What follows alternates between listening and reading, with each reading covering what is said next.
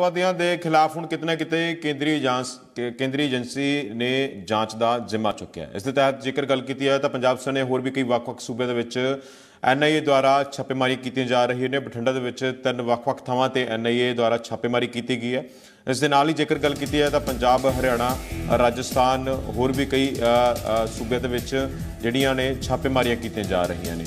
ਸੋ ਅ, ਦੱਸ ਦਈਏ ਕਿ ਐਨਆਈਏ ਵੱਲੋਂ ਕਈ ਸੂਬਿਆਂ ਦੇ ਵਿੱਚ ਰੇਡ ਜਾਰੀ ਹੈ ਤੇ ਬਠਿੰਡਾ ਦੇ ਤਿੰਨ ਥਾਵਾਂ ਤੇ ਐਨਆਈਏ ਦੁਆਰਾ ਛਾਪੇਮਾਰੀ ਕੀਤੀ ਗਈ ਹੈ ਤੇ ਐਨਆਈਏ ਵੱਲੋਂ ਨਸ਼ਾ ਤਸਕਰਾਂ ਤੇ ਗੈਂਗਸਟਰਾਂ ਦੇ ਖਿਲਾਫ ਇਹ ਖਾਸ ਤੌਰ ਤੇ ਆਪਰੇਸ਼ਨ ਵਿੱਢਿਆ ਗਿਆ ਤੇ ਝੱਜਰ 'ਚ ਗੈਂਗਸਟਰ ਨਰੇਸ਼ ਸੇਠੀ ਦੇ ਘਰ ਐਨਆਈਏ ਨੇ ਰੇਡ ਕੀਤੀ ਹੈ ਤੇ ਸਵੇਰੇ ਕਰੀਬ 4 ਵਜੇ ਸੇਠੀ ਦੇ ਘਰ ਐਨਆਈਏ ਦੀ ਟੀਮ ਪਹੁੰਚੀ ਤੇ ਸੇਠੀ ਦੀ ਨਜਾਇਜ਼ ਜ਼ਮੀਨਾਂ ਤੇ ਬੈਂਕ ਖਾਤੇ ਖੰਗਾਲੇ ਜਾ ਰਹੇ ਨੇ।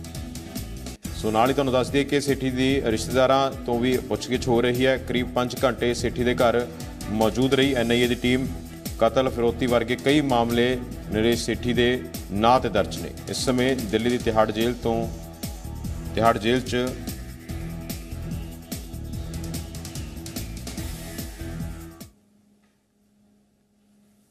ਸੋ ਦੱਸ ਕਿ ਸੇਠੀ ਦੀ ਰਿਸ਼ਤੇਦਾਰਾਂ ਤੋਂ ਵੀ ਪੁੱਛਗਿੱਛ ਹੋ ਰਹੀ ਹੈ।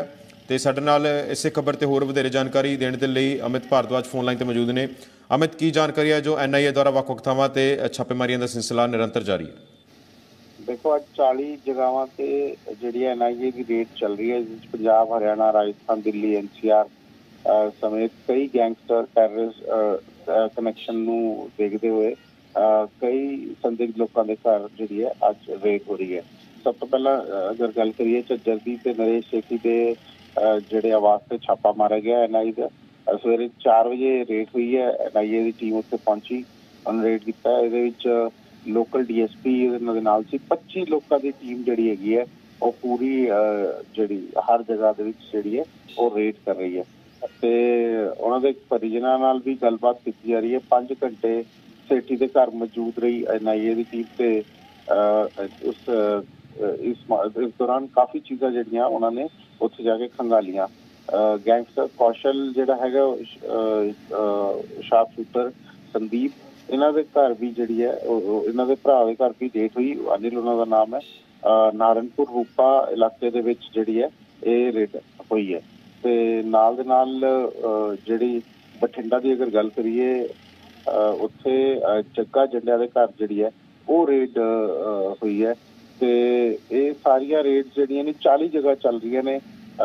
ਇਸ ਤੋਂ ਪਹਿਲਾਂ ਵੀ ਅਗਰ ਗੱਲ ਕਰੀਏ ਅਹ, ਤੇ ਰਾਜੌਰੀ ਉੱਥੇ ਰੇਡਸ ਹੋਈਆਂ ਸੀਗੀਆਂ।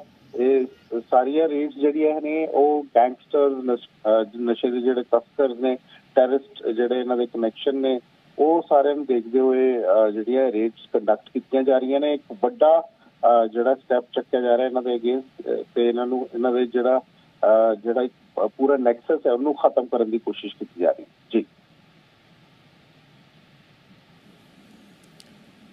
ਅਮਿਤ, ਜਿਸ ਹਿਸਾਬ ਦੇ ਨਾਲ ਹੁਣੇ ਛਾਪੇਮਾਰੀਆਂ ਹੋ ਰਹੀਆਂ ਨੇ, ਤਾਂ ਉਸ ਦੇ ਨਾਲ ਹੀ ਜੇਕਰ ਗੱਲ ਕੀਤੀ ਜਾਏ ਤਾਂ ਐਨਆਈਏ ਐਕਟਿਵ ਨਜ਼ਰ ਆ ਰਹੀ ਹੈ, ਕਿਉਂਕਿ ਗੈਂਗਸਟਰਾਂ ਤੇ ਅੱਤਵਾਦੀਆਂ ਦਾ ਜਿਹੜਾ ਬੋਲਬਾਲਾ ਹੈ, ਉਹ ਪੰਜਾਬ ਸਨੇ ਹੋਰ ਵੀ ਕਈ ਵੱਖ-ਵੱਖ ਸੂਬਿਆਂ ਦੇ ਵਿੱਚ ਕਾਫੀ ਵਾਧਾ ਹੋਇਆ ਨਜ਼ਰ ਆ ਰਿਹਾ।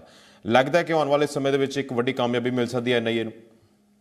ਦੇਖੋ ਅਹ, ਮੈਂ ਤੁਹਾਨੂੰ ਦੱਸਦਾ ਕਿ ਬੜਾ ਵੱਡਾ ਇਨਪੁਟ ਜਿਹੜਾ ਹੈ ਦੇਸ਼ ਦੇ ਵਿੱਚ ਹਾਲਾਤ ਖਰਾਬ ਕਰਨ ਦਾ ਮਿਲਿਆ ਸੀ ਔਰ 10 ਦਿਨ ਪਹਿਲਾਂ ਦੀ ਇੱਕ ਰਿਪੋਰਟਰਸ ਵੀ ਮੀਡੀਆ ਨੈਟਵਰਕ ਨੇ ਇਸ ਚੀਜ਼ ਦਾ ਖੁਲਾਸਾ ਕੀਤਾ ਸੀ ਕਿ ਬਹੁਤ ਵੱਡਾ ਜਿਹੜਾ ਇੱਕ ਇੱਕ ਸਾਜ਼ਿਸ਼ ਰਚੀ ਜਾ ਰਹੀ ਹੈ ਦੇਸ਼ ਦੇ ਖਿਲਾਫ ਬਾਰਡਰ ਏਰੀਆ ਦੀ ਅਗਰ ਸਪੈਸ਼ਲੀ ਗੱਲ ਕਰੀਏ ਅਹ, ਤੇ ਜਿੰਨੇ ਵੀ ਬਾਰਡਰ ਏਰੀਆਜ਼ ਨੇ ਹੈਗੇ ਜਿਹੜੇ ਇੰਟਰਨੈਸ਼ਨਲ ਬਾਰਡਰ ਏਰੀਆ ਭਾਵੇਂ ਉਹ ਰਾਜਸਥਾਨ ਦਾ ਹੋਵੇ ਪੰਜਾਬ ਦਾ ਹੋਵੇ ਜੇਐਨਕੇ ਦਾ ਹੋਵੇ ਉੱਥੋਂ ਜਿਹੜੀ ਹੈ ਘੁਸਪੈਠ ਹੋਏਗੀ ਉੱਥੋਂ ਕੋਈ ਵੱਡੀ ਹਰਕਤ ਹੋਏਗੀ ਤਾਂ ਉਸ ਕਨੈਕਸ਼ਨ ਦੇ ਵਿੱਚ ਜਿਹੜੀ ਹੈ 40 ਜਗ੍ਹਾ ਰੇਤ ਚੱਲ ਰਹੀ ਹੈ।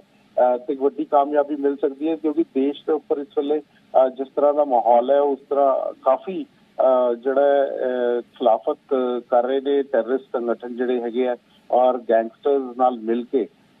ਕਰੀਬ 1500 ਅਹ, ਜ- ਨੌਜਵਾਨਾਂ ਨੂੰ ਖਰਾਬ ਕਰਨ ਦੀ ਕੋਸ਼ਿਸ਼ ਕੀਤੀ ਗਈ ਸੀ। ਬਾਰਡਰ ਏਰੀਆ ਦੇ ਵਿੱਚ ਉਹਦੀ ਪੂਰੀ ਰਿਪੋਰਟ ਜੀ ਮੀਡੀਆ ਨੈਟਵਰਕ ਨੇ ਦਿਖਾਈ ਸੀਗੀ। ਠੀਕ ਹੈ।